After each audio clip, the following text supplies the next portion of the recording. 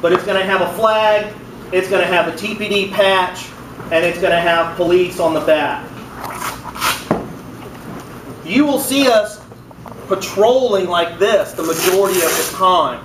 But when we have to deal with lawbreakers, with anarchists who have nothing to do with voicing an opinion, they're just going out and destroying property and breaking the law and battering officers, this individual will transition into the hard gear. So normally you'll see us like this because we're envisioning very little violence. We're hoping, we're envisioning very little violence from the lawbreakers. Once we have a crisis, we will be mobilized. They will be in a standoff position or a stand down position either on buses or somewhere close to where this process is taking place. From there, he will transition into hard gear. Go ahead and go. Understand, he's not transitioning or walking to this uh, to these lawbreakers or anarchists and you know putting on the gear and hopping and putting on patches. Nothing like that. He's already going to be transitioned in that gear. He's going to be in a standby position. So we're going to have a number of officers in the soft uniform, which are the tan BDUs, the shirt, and then we're going to have a number of officers that are going to be in the hard turtle gear in a standby position.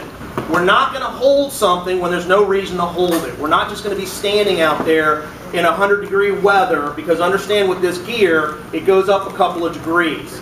And the longer you stand there, it goes up a couple of degrees. So the heat is going to be our biggest factor as far as officers. On the other side, for the anarchists, the ones that are the lawbreakers, the ones that are just coming here to destroy stuff, to batter police officers, they have no point in voicing an opinion. They're just absolute lawbreakers. They have heat to contend with too. We keep telling our officers again and again and again, hydrate, hydrate, hydrate. You got to drink water, drink water, drink water. Once you're thirsty, it's too late. You're probably in that dehydration mode. So that's probably one of the biggest factors that we're fighting right now. As you can see, it takes a few minutes for him to put on this gear. Thus, he's already going to be somewhere with this gear on, but out of the heat in a standby mode. The hardest thing is the arms. The arms are the trickiest.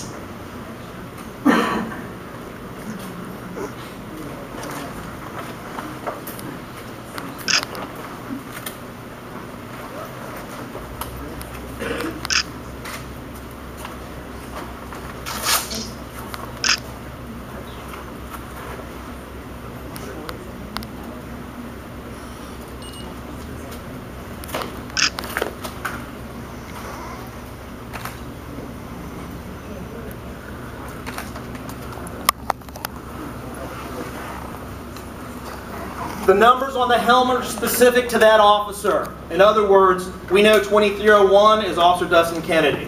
The numbers are specific to that officer.